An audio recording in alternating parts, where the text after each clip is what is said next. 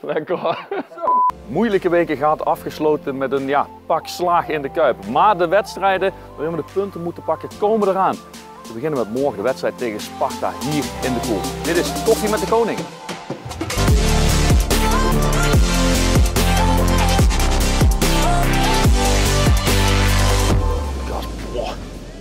Hebben wat slechte wedstrijden gezien, maar dit eh, sloeg wel alles, hè? Eh, ik doe ook even de eerste 20 minuten niet mee. Nou, Jezus, dat was een lange uitzending dan. 2-0 achter, zo snel, wedstrijd vergeven. Nee, goed, lang. Je mist, nee, maar je mist natuurlijk wel een paar hele belangrijke spelers. Vijf man eigenlijk, hè? Je, vist, Maar- je mist eigenlijk vijf man voor ons. Dit ging wel veel te makkelijk, Het hè? ging te makkelijk. Het leek als zelfs alsof Feyenoord kon voetballen. Ja, maar dat is Dat helemaal je- niet zo. Maar goed, je weet het, heel veel zwarte medicijn, trek maar alle dingen weer open. Ja goed, ik heb in mijn omgeving wat Feyenoord fans die zeiden, oef, tegen VVV, het zal nog wat worden. Ik zei, nee, je bent niet bang, kom dan maar goed, maak je geen zorgen. En inderdaad, Maar maar, wij hoeven ons ook geen zorgen te maken. Hè. Hou eens op, let op. In december kunnen we er allemaal geen houtje van. Eh, ik ben nog beter met mijn familie dan die broers op den berg. In januari, we gaan naar de finale, we maken ze allemaal, iedereen is de beste. En in februari, die kennen er niks van. Hoe dan ook, we gaan nu vooruitkijken. Want ik zei tegen je, het klinkt allemaal heel zoet. We hebben verloren van wie we moeten verliezen. We hebben gewonnen van wie we moeten winnen. En soms hebben we zelfs gewonnen van die waar we niet eens van wisten dat we en konden we winnen. wisten natuurlijk ook dat de competitieopbouw zo was dat voor Ja. ons de krakers in de tweede seizoenshelft eh, zouden komen. We hebben nu een maand gehad met alles uit dat linkerrijtje. Hoeven wij geen punten te pakken. Nee, we hebben de komende drie wedstrijden, Lucas, dan moeten we het Nou doen. gaat het gebeuren. we Nou beginnen gaat met Sparta. Wat vind je van Sparta? Tommy Wisselvallig. Beugelsdijkie, vind ik Ja, maar heel erg wisselvallig. Hè? Sparta is echt wisselvallig. De ene keer denk ik, hebben het goed op de rit. Staan gewoon tegen dat linkerrijtje aan te schurken. Staan volgens mij zelfs heel even in dat linkerrijtje. En in één keer krijg je er weer een paar achter elkaar om de oren. Dat ik denk, huh, wat is daar aan de hand? Ja, het is een, eh, maar Wisselvallig, het blijft een moeilijke ploeg. Goede spits hebben ze daar natuurlijk. Zeker, zeker. Ik ben benieuwd wat de, de trainer ervan denkt. Ja. Lekker bakkie, maar hij smaakt beter met punten. Heb je een eh, bedankje van Dick gehad? Want jullie hebben ze werkelijk ja, geen strookbreed in de weg gelegd eigenlijk, hè? Nou, daar is altijd veel over gezegd. We hebben daar onze wedstrijd eh, geprobeerd te spelen. Dat is, eh, als je dan vaak op, eh, binnen korte tijd met 3-0 achter staat, dan is dat zo lastig. En, eh, uiteindelijk is dat geweest. We wisten dat zo'n wedstrijd ertussen zou kunnen, maar de uitslag was natuurlijk voor ons eh, ja, een slecht gevoel. Maar het is beter om vooruit te kijken. Die spelers die de afgelopen week niet bij waren, hoe staat het, daar- hoe staat het daarmee? Nou, Guevara gaat goed, dus we hopen dat dat, eh, dat, dat doorzet naar morgen. Dat hij een eh, stap bij de selectie kan zetten. Dus eh maar kijken hoe de reactie is.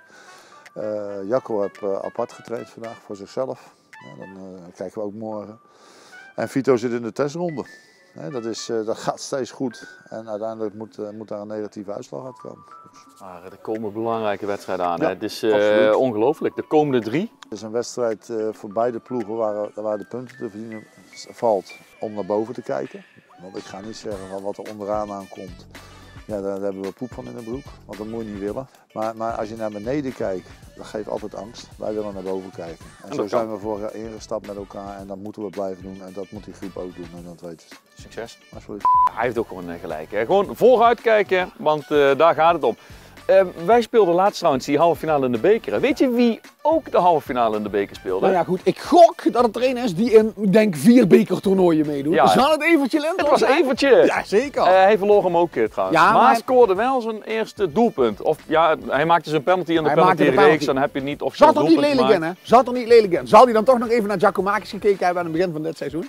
Zat er knap in, hoor. Maar leuk voor Evertje. hè. Volgens mij, ik volg hem ook op Instagram, heeft hij het op zich wel naar zijn zin. Zeker, eh. zeker. Maar wat ik heel leuk vond, en dan eh, eh, houden we op over die verloren halve finale. Het was ook mooi dat hij en Penny, en daarnaast de VVV-enclave bij de Graafschap, en noem ze maar allemaal Ja. allemaal nog even de moeite hadden genomen om de club succes te wensen. Vond ik leuk. En daar zie je ook, weet je wel, big smile. Het gaat gewoon lekker, het gaat gewoon goed. En het is daar heerlijk weer. Wat ook wat uitmaakt is dat ik blij ben dat die Field Lab dingen bij NEC en bij Almere, Ja. en ik weet dat ik NEC moet zeggen, maar ik zeg NEC, dat dat goed gaat. Dat dat goed is gegaan, dat er weinig dingen mis zijn gegaan. Weet dan gaan ze ook al hè, bij de dingen in de Ziggo Dome, links en rechts wat concertjes. Ik kan, ik, het, het, ik kan niet een heel seizoen nog wachten. Hè. Gaat niet gebeuren. Nee, ja, dat was eh, uiteraard hartstikke goed. Wat ik wel opvallend vind, dan doe je mee aan zo'n experiment. Dan laat je je dus één keer testen en dan zeg je bij die tweede test, ja, eh, maar dat kon ik niet meer doen. Niet iedereen wilde zich meer laten testen. Nee. Idioot. Misschien, misschien was dat wel de gef, want allebei de thuisspelende ploegen, die verloren de Ja, nou ja, dat zal het het Die hadden gewoon zijn? de Zal pesten. En laten we hopen, Lucas, dat we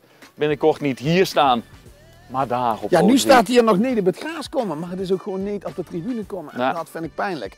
Ehm, speaking of, je raadt nooit, en het is geen grapje meer, want echt iedereen heeft hem gezien, wie er op zaterdagmiddag in de stralende zon uitgebreid over de Jodenstraat aan het paraderen was. Met links een- en rechts met een chai? maken. Nee, hij had geen chai. Het was nog niet chai met Lukai, maar het was inderdaad Jos Lukai. Werd echt door veel mensen aangesproken.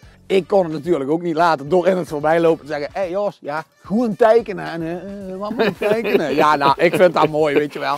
Het is ook iets positiefs, weet je wel. Het is niet van we hebben de trainer eruit geschopt en we moeten we no halen. Nee, we zijn bezig met de trainer van volgend jaar.